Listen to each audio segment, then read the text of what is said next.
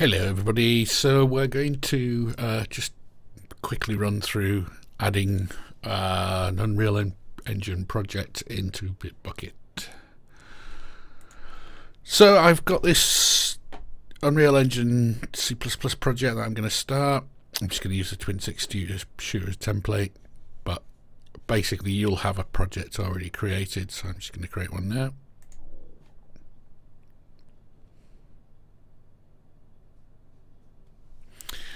Wait until Visual Studio loads up. You'll see I've got um,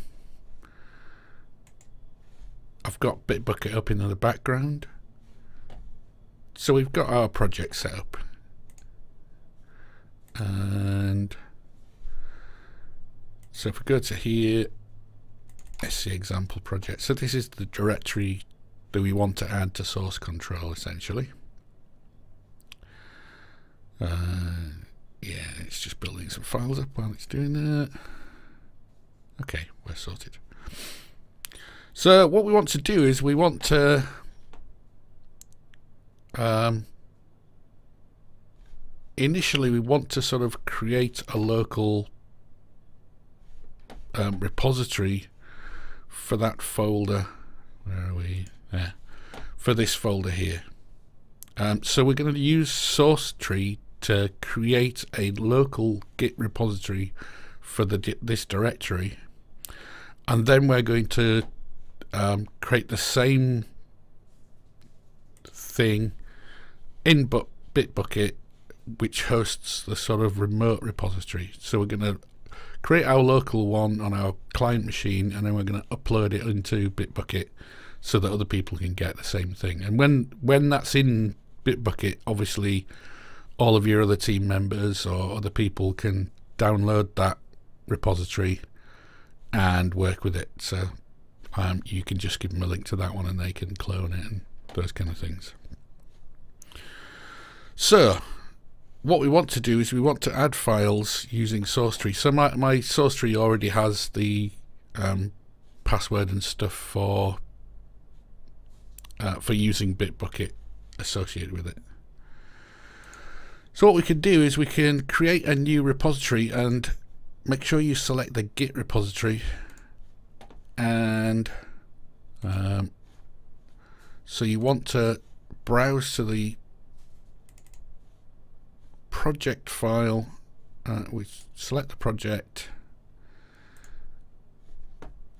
and we'll call this SC example project for now. It doesn't really matter what we're calling it so basically we're browsing to the folder, the top level folder where our Git repository is going to be made. So this is creating a local repository. It's essentially adding um, the Git directory. If you see that, uh, if I go to that project, there's no Git folder right now. If I then go create, and what that's done is it's created this .git basically git stores some sort of hidden files in that directory to tell it which uh, and it stores the version histories in there. So we've got this project and we need to then commit the project. So it's got a bunch of what it's called unstaged files files it doesn't know about. So the question is um, what do we add into the project? So I, like, I prefer to use the tree view for this. And if we go to the project folder itself, so just to explain what each folder does, um, intermediate files is something that's used while you're building things, so you don't want that in the, the repository. Source is your source code if you're using C++, so that's definitely something you want in there. Content is the actual game content itself, so all your VU assets, um, you probably want that in and config is your local configuration. So like your editor configuration your defaults and those kind of things. So you don't want that in either. What I like to do is also create a folder uh, source art um, and just add that in if I got some art files to add in there as well. So what we need to do is in SourceTree we need to actually select which files should go in to the repository. So if we go to the tree view, we can add the content folder and we can add the um, source folder. One thing we don't want to do is we don't want to add the SLN and SDF OpenSDF. So we want the U project file because that's the sort of Unreal Engine um, project settings file. And if you right click on that, you can always recreate all of these other solution files and stuff. So we don't want the defaults in because that's per user and you'll create each one of these when you open the project. So if we go to commit, what it'll do is it'll, open a window um, prompting us for a commit message. So I'll put something like uh, commit in there and commit it. And what that's done is that's created a repository because this is a distributed system. It's created a repository on our local machine. Now, that's all right if we're only ever using one machine, right? But we actually want to share this with other people. So what we actually need to do is we need to um, create an, a sort of remote repository and then we need to actually kind of send all of our data to that remote repository. Um, so let's go to our Bitbucket account and let's create a new repository. And let's call this uh, example repo. Um, source code example repository I could create it private I'll create it not private it's a git repository because we created it as git we can add issue tracking in the wiki and those kind of things so we create repository on here um, so it's it creates an empty repository, right? So we need to put something in it, and the way to do that is if you go to I have an existing project, it gives you a command line to sort of use. And the easiest way to do this is to copy that um, command or use these commands. So I'll copy that one first, and then I'm going to go to SourceTree and open a terminal. So this is the Git terminal.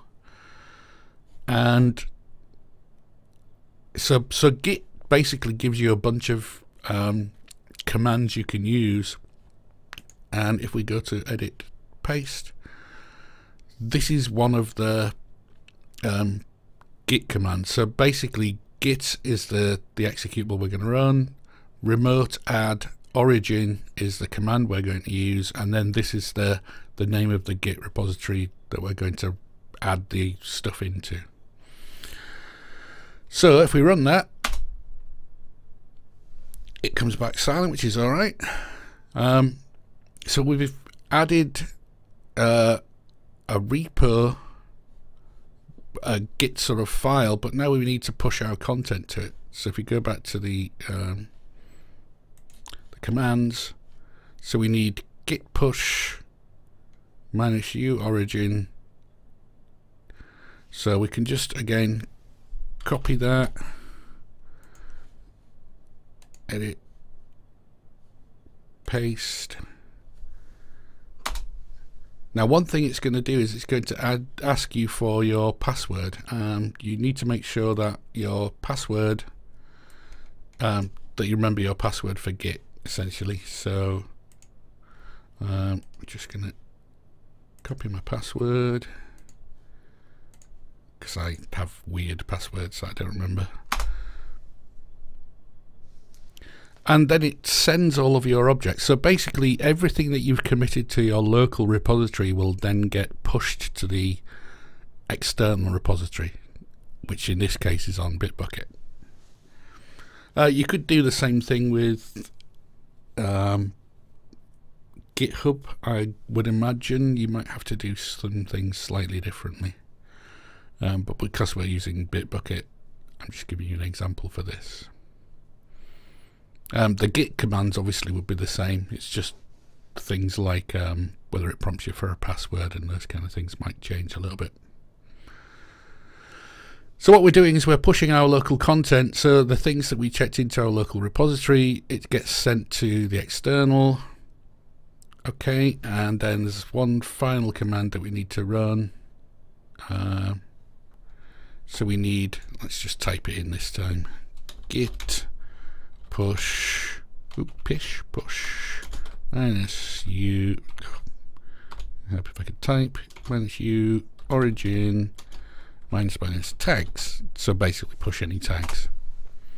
And then again, we need our password. So it's useful if you remember it. Okay, so now we hit, we should have in our repositories. So let's just go to um, our example repo. We've got one branch in there. So if I go to repositories, oops, no.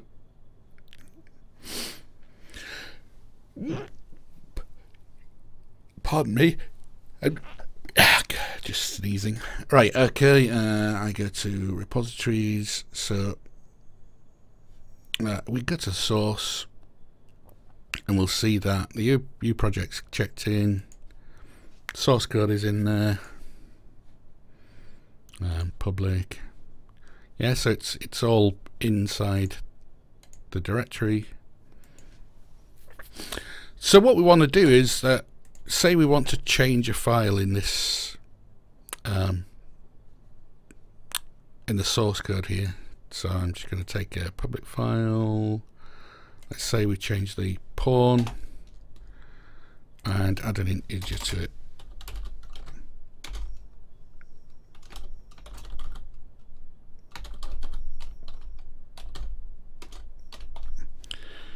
Um, so what I want to do is when I've changed these files I need to commit them to our local repository and then I want to um, upload them to the remote right so imagine I've I've done a bunch of changes locally I want to a commit the change locally and when I'm happy with all of the stuff working I want to send it to the remote. So you'll notice that when I changed that file, it came up with the little dot dot dot thing here, which is uh, telling me that one file has changed. Uh, and in this case, it was public example pawn. So we can add that to what we call staged. So this is the area where the changes that we've made should go into. And then we can call commit on that Now, an interesting thing in the SourceTree client is that you can actually automatically push changes to the origin. So basically push changes to the remote repository, which is what we probably wanted to do. So let's go um, added variable. So you want decent commit messages in your um, projects so that people can tell what's changed to um, example uh, to pawn to add choice of fire modes. So the idea is that every time you make um, a reasonable set of changes, you should commit those changes to your local repository. So, and uh, every now and then you should push them up to the remote repository as well. So it allows you to do sort of small edits and stuff um, check them to make sure that they're working and then push them. So you can either do the push thing or we can just, when we're committing the change, push changes immediately to origin. So let's commit that. Spend some time committing. Okay, so now our um, repository should be updated. Now, it might take a, a few um, a few minutes for your source code project to update just because um, you know it's the way the web works kind of thing. But eventually what you'll see is let's just see if I can uh, refresh it by going to the source directory. Source uh, public example project pawn. You'll see that it, it eventually refreshes its cache and shows up so basically there's your remote your changed file and people can obviously clone um, or fork or whatever they need to um, if you share your repository with other people, they can then commit to it, etc. So that's how you're creating a repository with Unreal Engine and then submitting it to source code control via Bitbucket. Just remember that when you make a change, um, you need to stage it, commit it, and then tell it to push once you're happy with the changes. Tell it to push to the remote machine, um, to the origin of the remote machine. So it even tells you what, what remotes are looking at this. So we've pushed our project up to this remote with um, the origin being on that machine. So it knows that like another machine has some source code that we maybe we could pull from or push to. Um, it knows that we've got our local machine with the master branch. Um, so that's it really hopefully you'll sort of get used to the idea of editing and then committing so that you've got a history of changes um, and obviously as you're adding files you need to add them etc etc so get used to using SourceTree. It's not a bad little client. Um, better than typing in the command line anyway. Okay so I'll stop the recording there and hopefully you can uh, have a go with that